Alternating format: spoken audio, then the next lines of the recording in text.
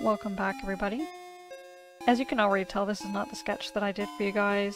I don't really have anything to say for this video, so I thought, you know what, I'm just going to put something else in the background for noise, and I'm just going to explain real quickly how things are done and what I'm doing. First thing I'm going to be showing you guys in this video, once we get started, is how I do the eyes. A lot of the times I can just draw them, but I kind of prefer to do, I have pre-made shapes that I made for eyes, and so I'm going to use those that I have in Photoshop. So that's why you'll see I'm on in Photoshop for this first part. Uh, not right now, but I will be once we start. And then I will move everything back over. And I also work on the shading a little bit as well, just sort of doing, uh, I like to do like a fade of a color. I normally start off with black and then I change the color later, which we'll see in the next video but uh, and then I just cut out the areas that I want for like highlights more than anything. Then I'm going to come back and do the link, the sorry, the inking itself. Inking is my least favorite part of doing a picture.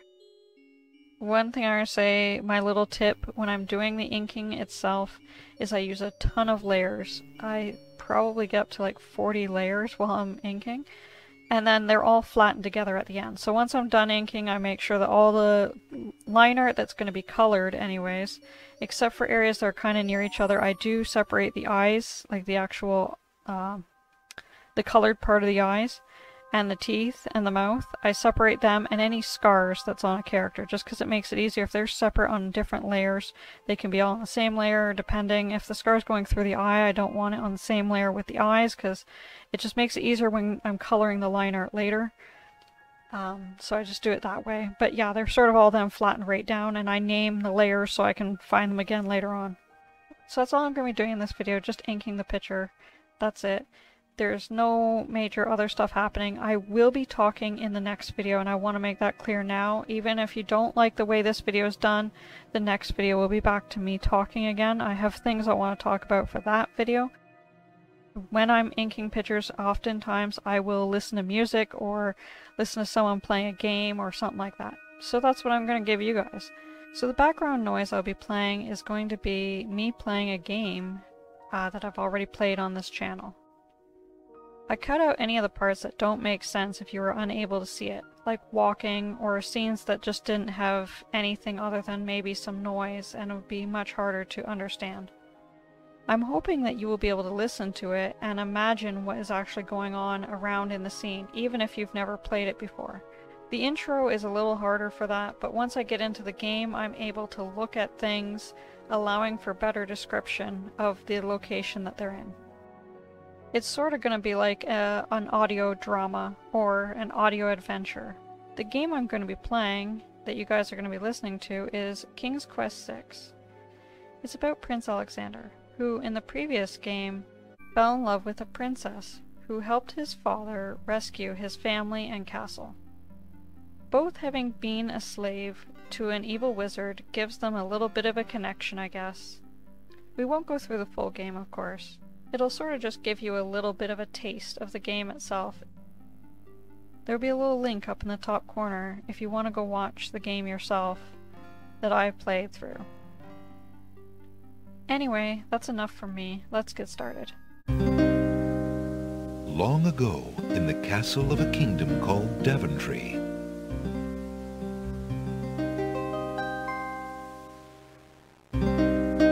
Alexander, here you are. Oh, you're still not thinking about Cassima, are you? Hmm? I suppose I am. Son, it's been months. You've got to pull yourself together.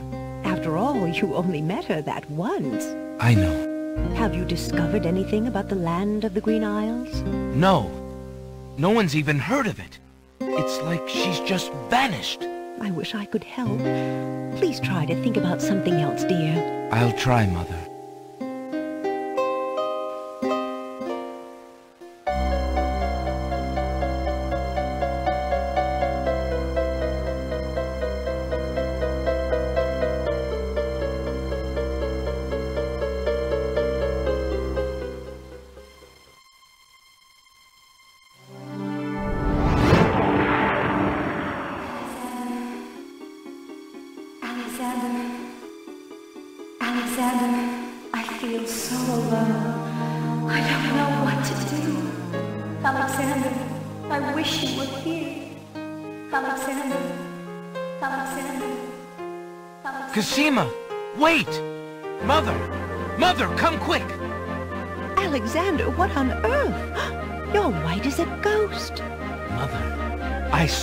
Cassima. She was in the mirror. In the mirror? The magic mirror? Yes! And it showed me how to find her. How? The stars! I saw the stars outside her window. I can navigate by the stars. Oh, Alexander, if you really go, It will be all right, Mother. I promise.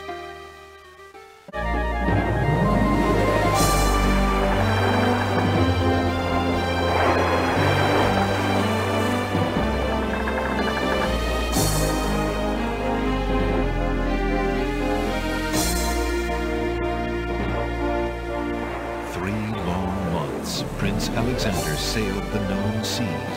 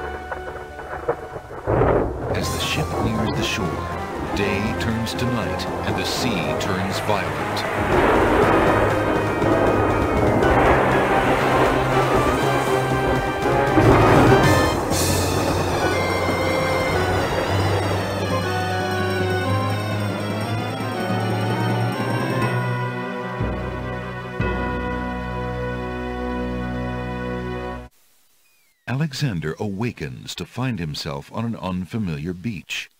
For a moment, he is too dazed to remember how he got here. Then he does remember.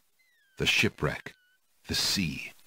Just as he had seen his men safely into the lifeboats, a gigantic wave picked him up and tossed him overboard into the churning sea. That was the last he'd seen of his crew. Debris from the shipwreck is scattered along the shore, but of the lifeboats and his men there is thankfully no trace. He can only hope and pray that the lifeboats survived the currents, and that his men made their way safely back to Daventry.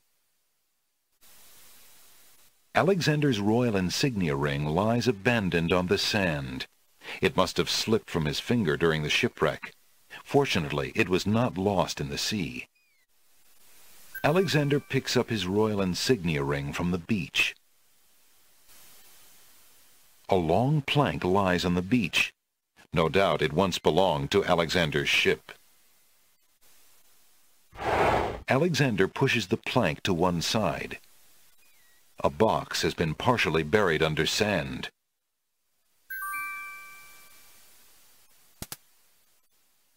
There's a copper coin in the treasure box. The coin bears the seal of Daventry and King Graham's noble face. Alexander takes the coin and leaves the ruined box where it is.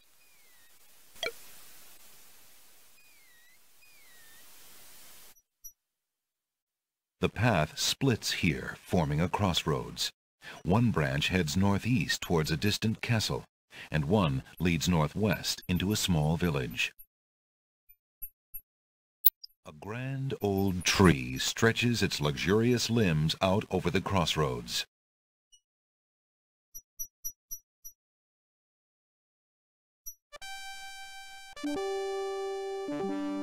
The castle appears to be of Moorish architecture. Its marbled walls and delicate inlaid mosaics are unlike anything Alexander has ever experienced before. His own home, though lovely and dear to his heart, seems rough-hewn compared to this delicate beauty. The castle doors are firmly shut and bolted. Two guards take their stance in front of the castle doors. They look quite fierce and have the stiff, blank expression of soldiers on formal duty. Alexander politely addresses the odd-looking guards at the castle doors, hoping to learn more about his predicament. Good day to you, guards. I was cast upon this island in a storm, and I'm a little confused about my location. Could you tell me what place this is and who lives in this castle? Hey, what is that you say? A castaway? A likely story. We haven't had any foreigners in this part since Alhazred arrived. Ah, don't be so rude, Gruff. He's not asking for any secrets. You're standing on the Isle of the Crown, lad, and this is the Castle of the Crown. The royal family resides here. Uh, rather, what's left of the royal family. The Isle of the Crown. But tell me, am I anywhere near the land of the Green Isles? This is the land of the Green Isles. The Isle of the Crown is the main island, foolish boy. Then Princess Cassima must live in this very castle. Aye, the princess is indeed our treasured jewel to guard, and we consider it an honor. Excuse me, guardsmen, uh, uh, guard dogs. I've been traveling for months to see Princess Cassima. I would like an audience, please. I'm sorry, but the princess is not receiving visitors, particularly not strangers. I really must see the princess. Could I speak with someone in charge? Who are you that I should bother Captain Saladin, huh? My name is Alexander. I am a prince of Daventry and a friend of the princess. A prince, is it? I see. Yeah, and I am lord of this dusty path. Step aside. You'll not be getting into this castle without some proof of your claims. Alexander's ring is made of the purest gold and has the insignia of the royal family of Daventry on its face. Alexander decides to try his royal insignia ring on the guards. With all of his papers lost in the shipwreck, it is the only possible proof of his identity that he can think of. Perhaps this ring will convince you of my identity. It is the royal insignia ring of Daventry. I'm sure. Just let me take a look at that ring. Well, uh, I'm sorry, Your Highness. It's just that princes are so uncommon in these parts. Let me get Captain Saladin.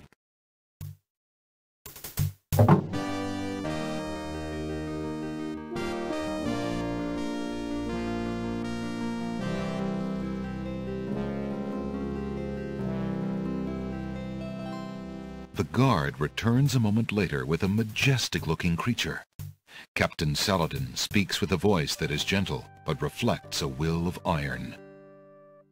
Prince Alexander of Daventry, I presume. I'm afraid I'm unfamiliar with your country, but I'm sure Wazir Alhazred will want to meet you, if indeed you are a friend of the princess. Please, follow me.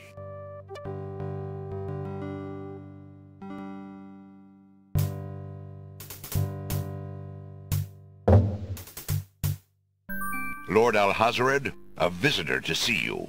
Prince Alexander of Daventry. What is it that you seek, Prince Alexander?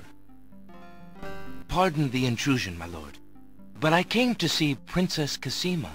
Some months ago, my father, King Graham, saved my family and I from imprisonment under an evil wizard named Mordack.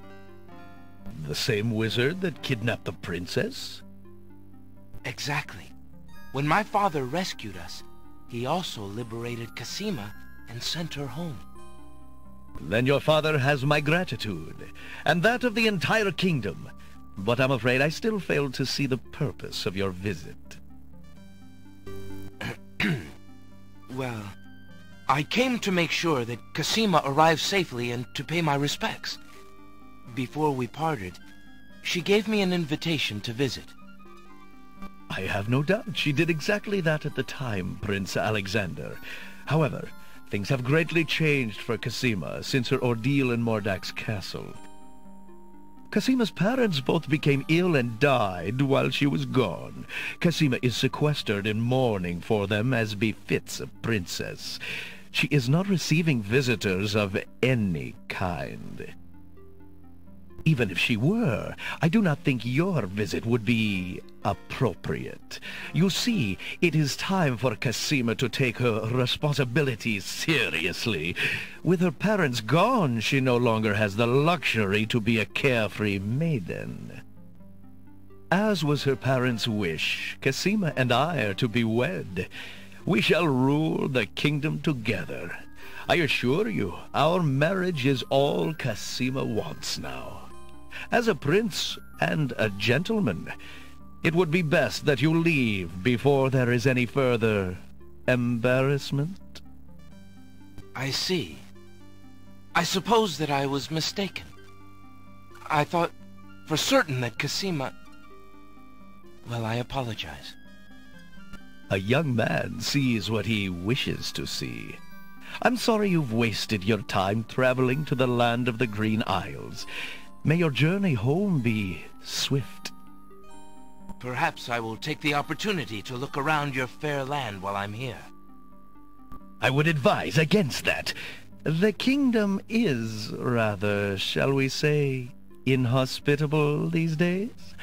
But it is your neck. You may risk it if you please. Captain Saladin will escort you from the castle. Good day.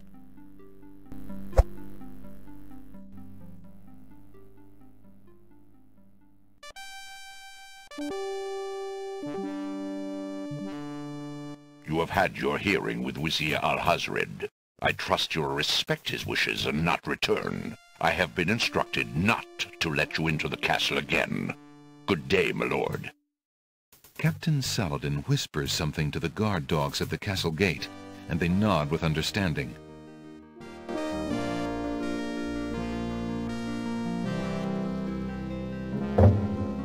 Alexander has a feeling they won't be letting him into the castle again.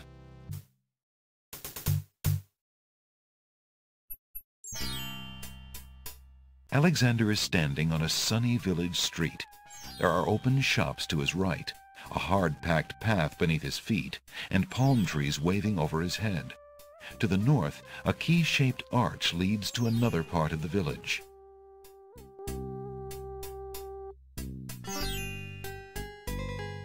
The sign above the door says Ali's Books.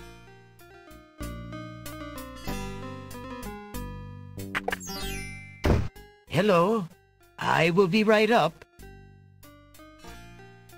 Now, what can I do for you? Alexander is standing in a cozy little shop. Books of every size and shape line the walls. A crackling fire in the fireplace completes the tranquil scene.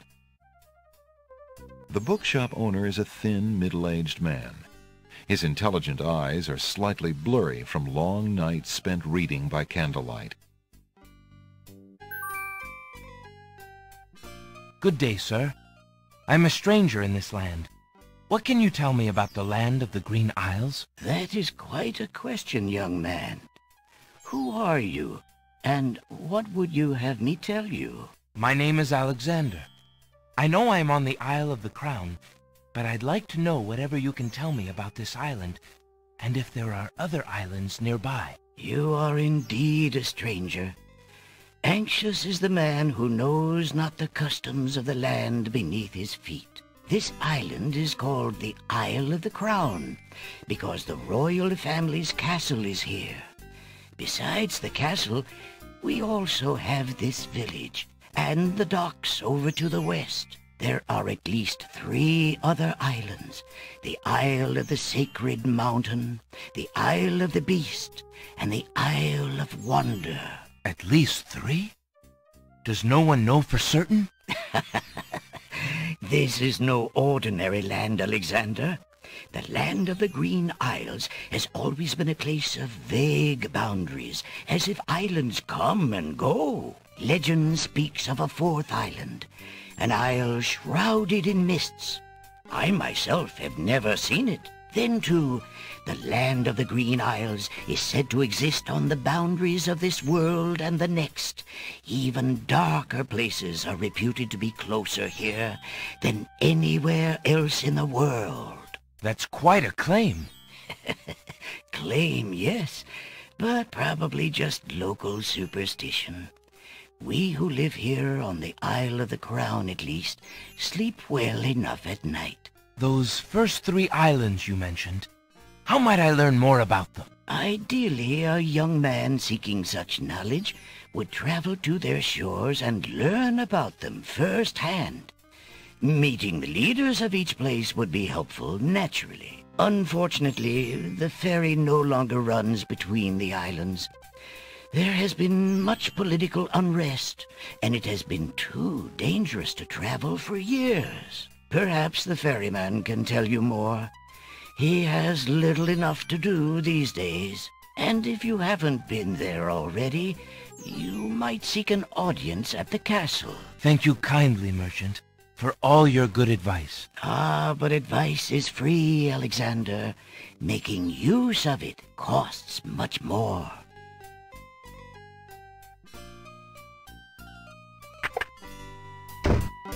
Alexander is standing on a dirt street leading through the village. To his right is a fine house with a private yard. The yard is surrounded by a gated fence and is full of red rose hedges. The street continues off to the northwest, from which direction Alexander can feel a light sea breeze. There's a young girl in the yard. The girl is dressed in a long, plain orange robe with a thick headdress.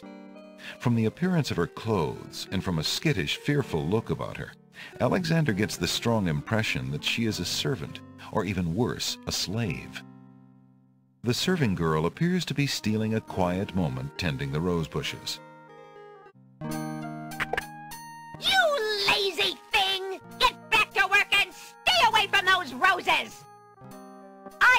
Told you a million times, those flowers are too sweet for the likes of you! You've still got to do the breakfast dishes, make lunch, and clean the stables yet this morning! And get your veil back on! No one wants to look at your face! Yes, stepmother.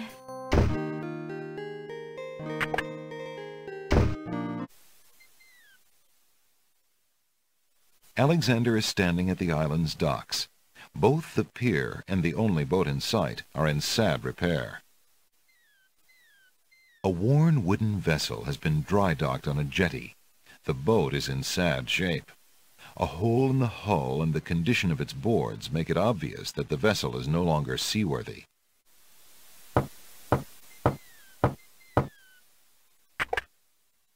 Yeah, what do you want? Excuse me. My name is Alexander. The owner of the bookshop in the village told me you might be able to help me. I hear you used to run this ferry for the islands. I'd like to talk to you if you have a moment. You say old Ali sent you? I can't see why. The ferry's not running, you know. I understand. I'd just like to talk to you about the islands if you don't mind. Well, I guess it'd be all right if Ali sent you. Well, don't just stand there. Come on inside. What is it you wanted to talk about, young man? Alexander is sitting inside the ferry's cabin. The place displays the neatness of a seaman and the sparseness of a bachelor. There are few frills and comforts in the rough wooden environment, but the sunlight shines cheerily on the oaken beams, and the portholes admit a pleasant breeze. The ferryman is a disgruntled-looking man who is probably a lot younger than he appears. Despite his tired air, he watches Alexander patiently. I'm a visitor to these islands. I'd like to learn what I can about the area. So you said outside. What is it you want to know? Well, for one thing, why has the island's only ferry been dry docked? Huh. It just ain't safe to sail these days, what with the islands feuding and all. Wazir Alhazred ordered the ferry closed till things settled down. Me, I don't think she'll ever see water again. but why are the islands feuding? You got me. Something about stolen property or some such thing. Tis a real shame. Things used to be so friendly. Then this unrest is recent. A few years is all, but it's been long enough. Perhaps if the ferry were repaired. This old thing?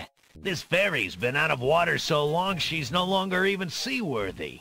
Her boards have dry rot. She'd fall apart at the first taste of seawater. But there must be some way to get off this island. There's only one other way to travel that I know of. A magic map. The owner of the pawn shop can tell you more about that than I can, Alexander. Tell me more about the ferry. I remember when I used to ferry Queen Allaria and Princess Cassima themselves. There was no thought of danger back then. They used to go visiting to care for the needy and to keep up the friendly relations between the islands. I remember their last trip. Things had started getting nasty by then, and when they came back aboard, I gathered that the Queen and the Princess had been received a bit coldly. Princess Cassima was such a pretty thing, and she was terribly upset. But who could be spreading these lies, she asked the Queen. But the Queen had no answer. What do you do now that the ferry no longer operates? Me? I'm out of a job. The job my ancestors have held for generations. I'm the only one trained to avoid the reef and the rocks. But that knowledge does me no good now. Is there no other boat on the island? One that might be more seaworthy? Boats don't last long on these shoals, as you may have found out if you got here by ship. You can be quite sure that this old ferry is, or was, the only craft on the island. Tell me more about Princess Cassima. Ah, such a beautiful child, and so pure of heart. Why, a contrary thought has never crossed her mind. Her mother was the same. The king and queen, they served the islands, not the other way around. Always thinking about the people. Ah, they are sorely missed. What else can you tell me about the land? Some say that the land of the Green Isles is near the edge of the world, and that the deadly currents are a result of a magnetism that sucks life from this world to the next. Of course, that's just silly talk. Well, I think I'll be going now. Thanks for allowing me into your home. Posh, not at all. It breaks the boredom, if you know what I mean.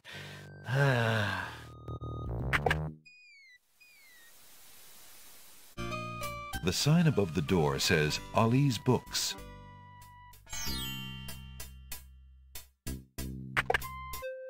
Good day again. How may I help you? An odd-looking man is reading in the stuffed chair. He wears a vest, balloon-style pants, and pointed shoes. There's something deliberately silly about the man, as though he were a performer of some sort. Good day, sir. Is there anything you can tell me about the land of the Green Isles? I'm sorry, but I have no time for idle conversation. I'm too worried about the princess. Excuse me again, sir. You mentioned the princess.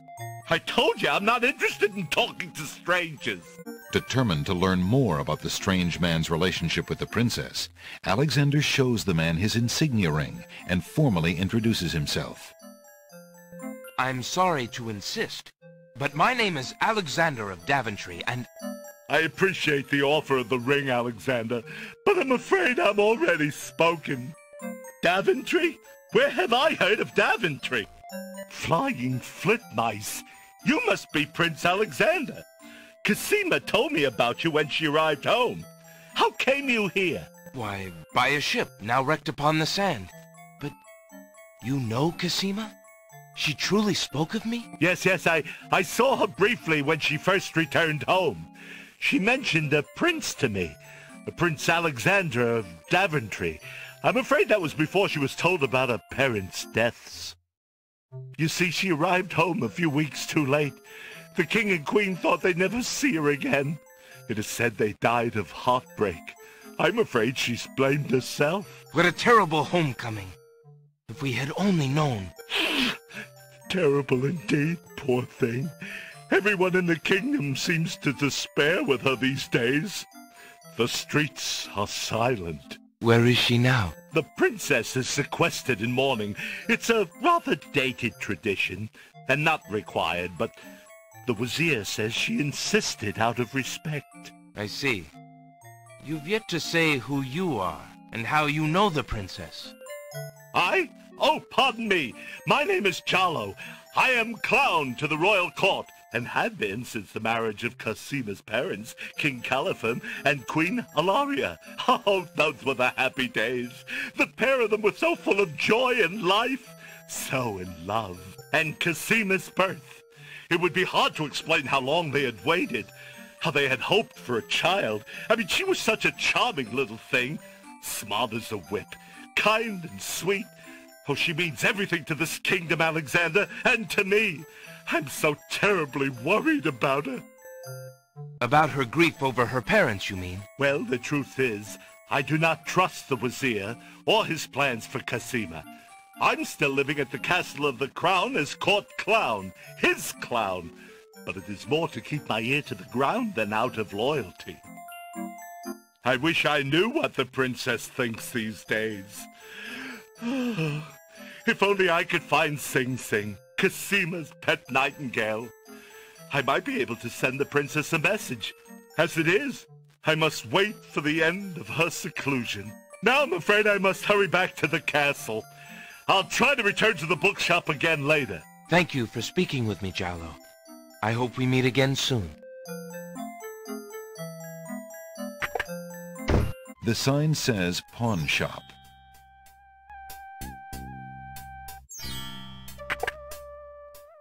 Good day. The pawn shop is a dimly lit place with a slightly musty smell. Curiosities litter every corner and every shelf. For sale are articles that range from the bizarre to the commonplace, from the priceless to the practical. An old man occasionally steals sidelong glances at Alexander from under a concealing hood. The pawn shop owner is a mysterious fellow. His face is old and inscrutable, and there's a glint of sheer iron in his gaze. Still, Alexander senses this is someone he can trust. Excuse me, merchant, but the ferryman mentioned that you might have a magic map of the land of the Green Isles. Why, as a matter of fact, I do. I keep it under the counter. It's been gathering dust so long that I nearly forgot about it. It was quite a few years ago, you see. The estate of a wealthy wizard fell into my hands when he died. It was useless magical junk mostly, which reminds me, I've still got some things of his in the back that I need to dump out. Anyway, the magic map was the one true treasure in the lot. The wizard was quite old and feeble, and had enchanted the map to aid in traveling. It is said that one need only desire to be on an island depicted on the map to find oneself there. It is a very valuable map, as you can imagine. Unfortunately, no one is interested in traveling these days. It is far too dangerous with the current state of the kingdom. What would you take for the map? I would normally want something magic in return, but since I am hardly overrun with prospective buyers, I would be willing to take anything of equal value in exchange. Would you be willing to take my family ring in exchange for the magic map? Daventry, are you a king then? No, that's my father, King Graham.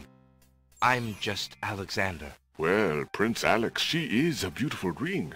Are you sure you can part with such a unique family heirloom? The ring does mean a lot to me. I didn't always have a family, you know. Still, it is only gold. There are more important things at stake now. Then you now own a magic map, Prince Alex. I will keep your ring out of sight for a few days. If you find anything else of great value in your travels, you can come back for your ring. I would hate to see it melted down for gold. Ah, and a warning about the map. It will only operate when you are out in the open and within sight of the sea. The limitation has something to do with the teleport spell ingredients. You might try the beach. Thank you. You are very kind. And I'll remember about the map. Suddenly, the old man in the concealing cloak sneaks past Alexander, and with a sneaky dart of his hand, steals a mint from the candy jar. The old man stuffs the mint into his mouth and wobbles unsteadily out of the pawn shop.